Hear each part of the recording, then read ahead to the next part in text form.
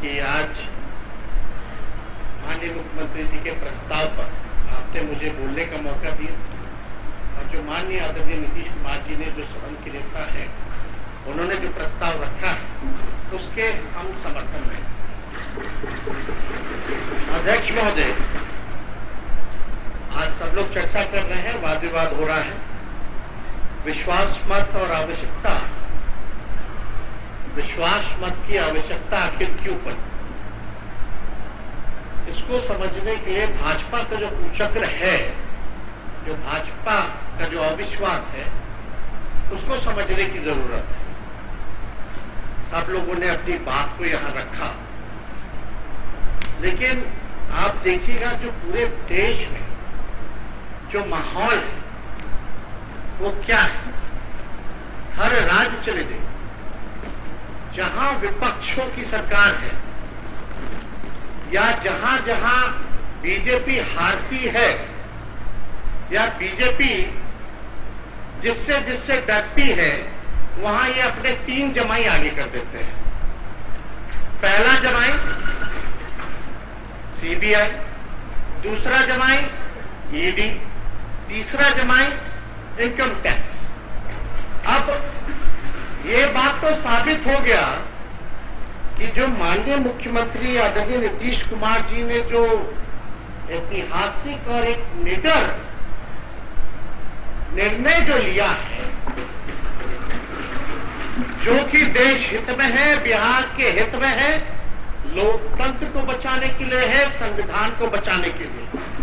आज के माहौल में शायद ही ऐसा हिम्मत और दिलेरी कोई दिखाता है।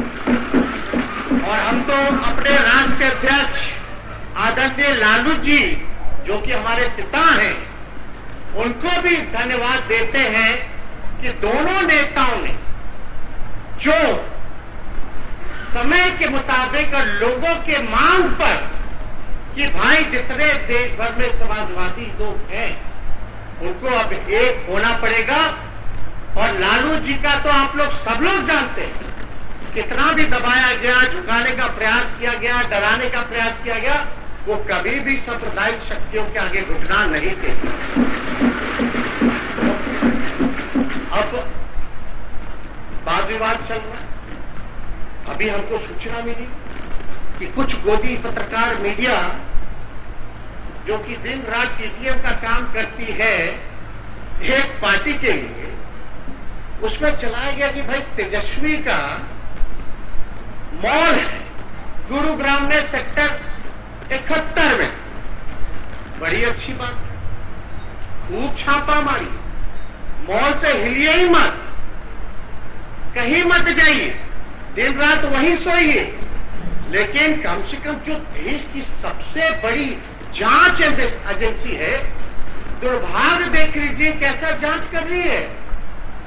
जो मेरा है ही नहीं जबरन जो है मेरा नाम लिया जा रहा वो मॉल का क्या नाम है? अर्बन क्यू, प्रोजेक्ट का नाम अर्बन क्यू, हम पता करवाए भाई कि भाई कंपनी का डिटेल निकालो, इस मॉल का डिटेल निकालो।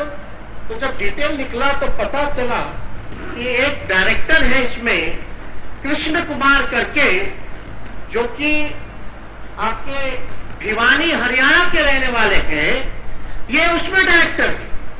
और हम तो बाकायदा पूरी कंपनियों का कागज़ लेकर के आए हैं, डिटेल लेके आए अब सीधे अच्छा है कि वहाँ पहुँच गई है, छापे मार रही है।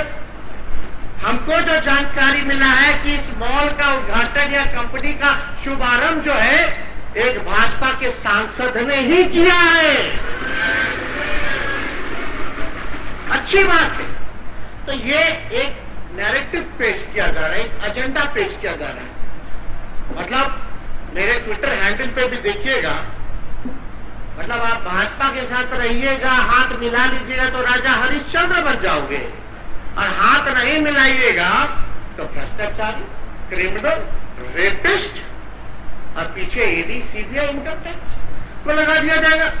अब आप बताइए कि पूरी तरीके से बेबुनियाद आरोप हम लोगों पे लगाया गया। कैरेक्टर जो हम लोगों को खराब किया गया।